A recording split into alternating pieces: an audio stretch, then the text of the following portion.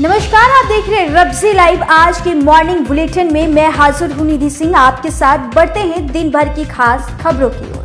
विधानसभा में नेता प्रतिपक्ष विजय सिन्हा ने फिर भ्रष्टाचार और अपराध को लेकर बिहार सरकार पर निशाना साधा है। उन्होंने कहा कि बिहार में राजनीतिक अस्थिरता की स्थिति है। इसके चलते प्रशासनिक अराजकता बढ़ रही है और बिहार में भ्रष्टाचार और अपराध तेज़ी से बढ़ रहा है। इसके कारण सीएम नीतीश कुमार हैं और उन्होंने यह भी पीएम बनने का सपना दूर दूर तक साकार होने की संभावना नहीं। बिहार के शिक्षा मंत्री चंद्रशेखर के बयान पर बिहार के मंत्री तेज प्रताप यादव ने कहा कि सबसे बड़ा धर्म मानवता होना चाहिए और इसका पालन करना चाहिए। धर्म पर कुछ भी कहने से पहले ऐसे बयानों से बचना भी चाहिए। चिराग पासवान की लोक जनशक्ति पार्टी ने एक बड़ा ऐलान किया है। लोक जनशक्ति पार्टी रामविलास ने कहा कि चिराग पासवान हाजीपुर से चुनाव लड़कर पिता के गिनीज वर्ल्ड रिकॉर्ड को तोड़ेंगे। इसके तहत चिराग ने अपने चाचा पशुपति के क्षेत्र में बड़ा शक्ति प्रदर्शन करेंगे।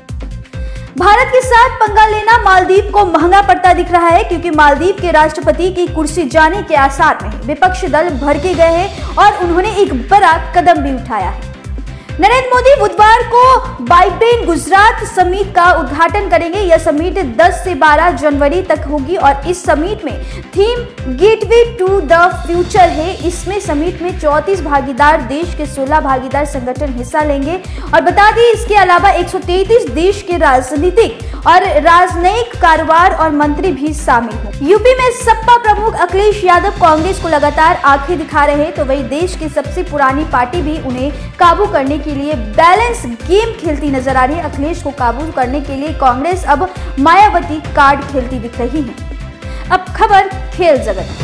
अफ़गानिस्तान के खिलाफ टी सीरीज़ के लिए विराट कोहली और रोहित शर्मा की टीम में वापसी हुई है। इस बात की पूरी संभावना है कि यह दोनों दिग्गज आगामी टी विश्व कप में भारतीय टीम का हिस्सा लेगी। कोहली रोहित के भारत को क्रिकेट विश्व कप 2023 के फाइनल में पहुँचाने की अहम भूमिका निभाई थी। पटना के मोइनुलुक हक स्टेडियम में शनिवार को बिहार गेंदबाजों ने मुंबई की पहली पारी दो सौ इक्यावन में निपट ली है, लेकिन जवाब बिहार के बल्लेबाजों को उसके भी तगड़ा मिला है। बिहार के छह बल्लेबाजों नवासी रन पर पवेलियन लौट चुके हैं, आज इसका तीसरा दिन। अब खबर मनोरंजन जगत की कन्नड़ अभिनेता यश केजीएफ के ज़रिए देश व दुनिया भर में फ़ेमस हो गए। उन्होंने बीते दिन, यानी 8 जनवरी को, अपना अड़तीसवा जन्मदिन मनाया। और इसी दिन अभिनेता के तीन फैंस की मौत हो गई, जबकि तीन घायल अवस्था में अस्पताल पहुँचे। यह उनके लिए एक दुखद जन्मदिन था, क्योंकि उनके तीन प्रशंसक अपने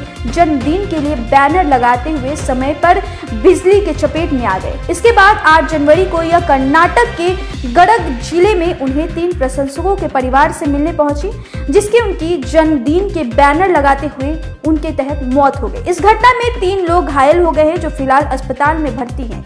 यश उनका हालचाल लेने के लिए अस्पताल भी गए थे। और अब खबर डालेंगे मौसम की मिजाज की। हार कपा देने वाले ठंड से जनजीवन ठहर सी गई है। लोगों का ठंड के मारे घर से निकलना दुश्वार हो गया है। बता दें, मौसम विभाग के प्रदेश में ठंड से बढ़ने की बात कही गई है। घरे कोहने को लेकर ऑरेंज अलर्ट भी जारी किया गया है। पटना गया छपरा, भागलपुर, मुजफ्फरपुर और औरंगाबाद में पारा में और भी गिरावट हो सकती है। फ़िलहाल आज के इस बुलेटिन में इतना ही। मिलते हैं नेक्स्ट बुलेटिन में। तब तक के लिए दीजिए मुझे इजाज़त। धन्यवाद।